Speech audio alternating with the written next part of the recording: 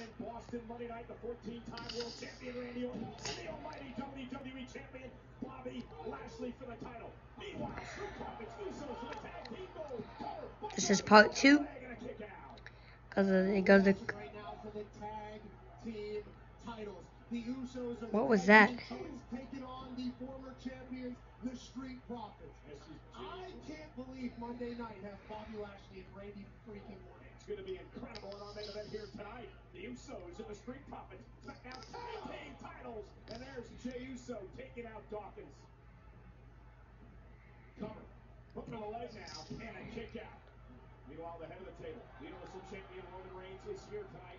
We expect him on SmackDown to either us feels about Brock Lesnar's challenge for the Universal title earlier tonight. I mean, hopefully you don't jinx it because I do believe we are all excited to hear what he has to say before we get off the air. And meanwhile, Dawkins with a drop kick and Jey Uso in trouble.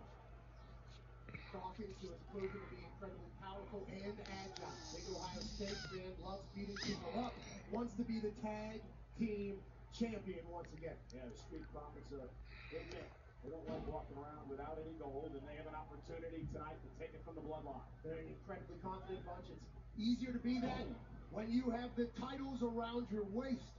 And the Usos have done that seven times throughout their run here at the WWE. They're used to the top of the chain. Tag. Here comes Jimmy Uso. Double team by the tag champs. So I keep moving around a lot. It's hard holding a phone while trying to watch. Street Profits get a win one week ago, but now that the titles are on the line, everything changes.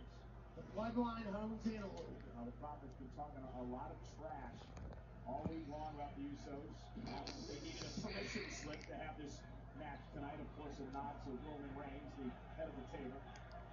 They talked about the Usos' actions last week, and they said, hey, listen, the kids act out when the parents not around. That was trying to get under the skin of the Usos. I'm a massive fan of the Profits, but they would do anything to be a part of the bloodline. I think anybody. All they do is win them. Oh, look at this. Jey Uso knocked over the top rope. Montez Ford catches Jimmy, and Jimmy knocked over the top as well. Maybe they don't give a damn about joining anybody. And here comes Montez Ford to the floor. Incredible. He cleared the top rope by five. Watch this. I mean, an actual